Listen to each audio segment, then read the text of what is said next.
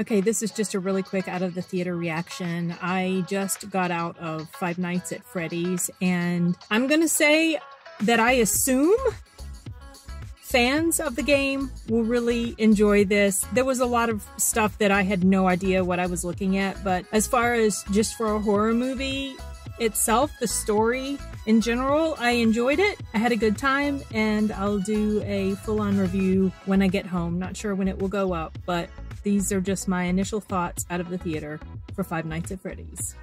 Adios.